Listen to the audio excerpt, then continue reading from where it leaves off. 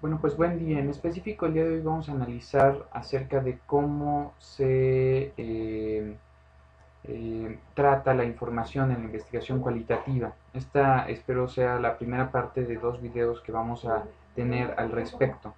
Eh, para ello, digo, voy a citar rapidísimo, nos vamos a basar en dos textos, uno de Martínez y otro de Miles y Huberman. Son dos textos, bueno, el primero hasta cierto punto no tan clásico, pero muy difundido, y el segundo ya un clásico. Y entre los dos básicamente dicen que existen como tres grandes etapas o fases para hacer el análisis de la información eh, desde el paradigma cualitativa. El primero, eh, Miles y Huberman hablan acerca de, eh, primero tienes que hacer un data reduction, un data display y un conclusion and drawing. Eh, ahí lo interesante es que ambos están, digamos, todos estos están eh, traslapados, no es que sea primero Data Reduction, Data Display o Conclusion, conclusion Drawing, ¿no? sino que más bien todos son, recuerden, cualitativo, todo es al mismo tiempo. Y uniendo un poco esto que dice eh, Miles y Huberman con eh, Martínez, entonces podríamos decir que Data Reduction nos alude a la idea de categorización de la información, es decir, de dar nombres, clasificar e identificar patrones. En el caso de Data Display, esto nos alude a lo que Martínez entendería como estructuración, es decir, relacionar las categorías que se crearon, representar las relaciones que existen entre estas categorías. Y al final, Conclusion Drawing, tal cual, eh, sería eh, un poco análogo a lo que Martínez habla acerca de lo que es la teorización, es decir, interpretar ya la representación de estas relaciones que ustedes acaban eh, que se realizaron en la fase de estructuración. Eh, como dato importante, recuerda que en cualitativa 1 no es que una fase sea primero y luego la siguiente, sino que todas van, digamos, entretejiéndose. Eh, generalmente digo, primero empiezas con la categorización, después pasas a, estructurizar, a, a estructurar y después pasas a teorizar, pero no necesariamente es lineal. Podemos regresar a una fase anterior en cualquier momento si vemos información nueva que nos exija, si yo estoy en la teorización y de repente hago otro estudio de campo o una observación o lo que sea y de repente veo que es necesario volver a la categorización, pues vuelvo, no pasa nada. Y el campo y lo que vamos comprendiendo y aprendiendo, aprender de aprender la realidad de este, ¿no? Nos exige regresarnos o avanzar una fase, que es lo que decíamos, ¿no? Ahí necesitamos mucho eh, la idea de insights o de eh, como el investigador está haciendo algo y de repente le llega una idea, ¿no? Y sobre eso entonces tiene que decidir si es momento de hacer una categorización o una estructuración o una teorización. Eh, ahondando en qué significa cada una de estas, eh, sería muy sencillo eh, representarlo de la siguiente forma. Digo, ustedes una vez que hacen ya sea un diario de campo, la transcripción de la entrevista, o toman fotografías, o toman un video, o tienen un documento que van a analizar, o un artefacto. Artefacto es básicamente cualquier producción tangible de, una, de un grupo. Eh, por ejemplo, un artefacto puede ser em, los utensilios de cocina que utilizan los tarahumaras, ¿no? O sea, estoy inventando. O un artefacto puede ser eh, lo que produce X comunidad eh, para su sustento, no sé. con base en esto entonces, lo único que ustedes tienen que hacer tal cual es crear categorías. Básicamente la idea es similar en cualquiera de, en cualquier tipo de esta información, del diario de campo, de la transcripción de la entrevista, de las imágenes, los videos, los documentos o artefactos.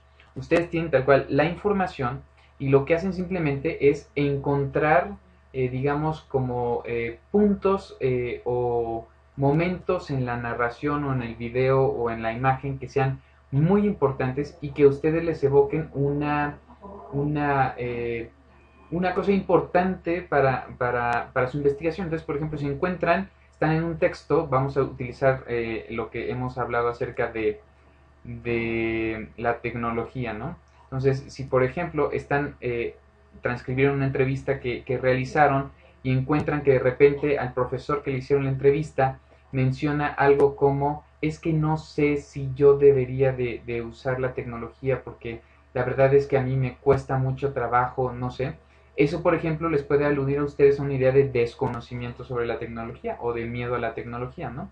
Es decir, ustedes conforme van leyendo el texto, ustedes van creando categorías que les permiten eh, tal cual ir viendo cuáles son las cosas que se están tratando o que se están o que están emergiendo de la información que ustedes están eh, que ustedes están recolectando. Así pues tienen todo el texto y lo que van haciendo es creando categorías. ¿De dónde crean estas categorías? Bueno, emergen obviamente de lo que van leyendo y ustedes dicen es que necesito crear una categoría sobre deseo de formación en el uso de la tecnología o sobre miedo al uso de la tecnología o desconocimiento de la tecnología. Ustedes eligen, ¿no? Dependiendo de lo que vas emergiendo del, del campo. Pero también otra puede ser, por ejemplo, en la literatura. Si ustedes ven, por ejemplo, que los profesores tienen eh, bastante aprensión al uso, no sé, de las redes sociales, porque no las, no las saben utilizar, pues entonces ahí ustedes tienen ya, digamos, un background que podrían utilizar para que cuando estén revisando toda la información, digamos que ustedes ya tengan previamente la categoría pensada de este eh, miedo o de desconocimiento para con la tecnología, ¿no? La siguiente fase es data display o estructuración. Aquí simplemente lo que nosotros buscamos es, con todas estas categorías, nosotros poder representar o dar cuenta de tu fenómeno, de tu realidad, de lo que estás tú observando. Entonces, es como si ustedes quisieran crear un espejo. ¿Y cómo se hace eso? Pues generalmente lo que se hacen es que ustedes tienen las categorías, ¿no? Todas aisladas, y lo que van a hacer ustedes simplemente es relacionarlas como a través generalmente de organizadores gráficos. Son variados los tipos de organizadores gráficos que utilicen, depende de lo que tú necesites representar. No existen reglas como tal, solo hay lineamientos. Hay softwares que te permiten hacer estos, estos, este, estos em, organizadores gráficos, como Atlas T, que es el más famoso de investigación cualitativa, sin embargo cuesta. Compendium, Coding Analysis Toolkit y WebQDA, que ese es eh, gratuito, esos tres son gratuitos, por ejemplo. Incluso hay otros programas que nosotros utilizamos comúnmente, como CMap Tools para hacer mapas conceptuales, o Wordle, que es para contabilizar palabras, que a nosotros también nos pueden servir para representar la información, y esos son gratis, ¿no? Pues, por ejemplo, pueden ser así de sencillos, simplemente ustedes crean las categorías, cuentan el número de veces que hay en, eh, que se mencionan las categorías, lo meten al programa de Wordle y Wordle simplemente las que son más comunes las hace más grandes, las que son menos comunes de las categorías las hacen más pequeñas. Y se dan cuenta que ni siquiera hay relaciones, simplemente representar la frecuencia. Esto es lo más sencillo que se puede hacer. Otro, por ejemplo, ya con Atlas T, ya es, aquí si se dan cuenta ustedes tienen las categorías que fueron clasificando de su texto o del video, etc. Simplemente lo que dicen es especificar esta categoría se relaciona con esta, es parte de esta, contrapone a esta, es causa de esta, etc. Y con este organizador gráfico ustedes están representando la realidad. Otro, por ejemplo, es el CMap Tools, que hace algo muy similar. También pueden representar ustedes a través de tablas, ¿no? O sea, o cuadros. O sea, no hay... Eh, el límite es la imaginación. Este es uno más complejo, por ejemplo, que, que muestra Miles y Huberman, ¿no?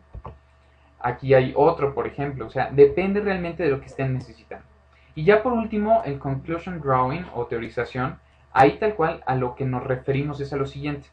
Yo ya tengo mi categorización, yo ya tengo después estructurada esas categorías a través de un organizador gráfico.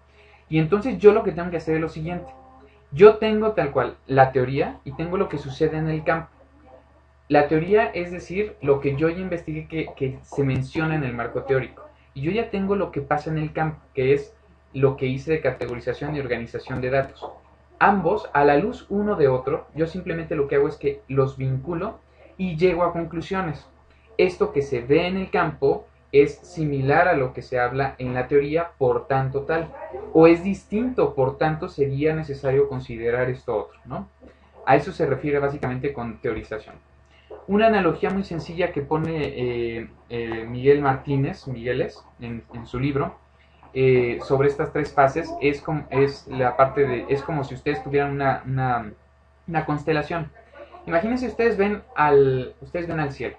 Ustedes ven al cielo tal cual, ¿qué es lo primero que hacen? Ven las estrellas y a cada una de las estrellas les asignan un nombre, es decir, las categorizan. Después lo que hacen con esas estrellas es que la relacionan, así tal cual, como ven en, la imagen, ¿no? Eso es la estructuración. Cuando ustedes a esa relación le dan un sentido, lo ponen en contexto, ¿no? Es decir, aquí yo digo, esto es Orión, ¿no? Este es, eh, si, si ustedes recuerdan, esto es el cinturón de Orión y pues alude a esta figura de, este guerrero caballero, no sé, eh, Orión tal cual. Eso ya es teorización, ¿ok?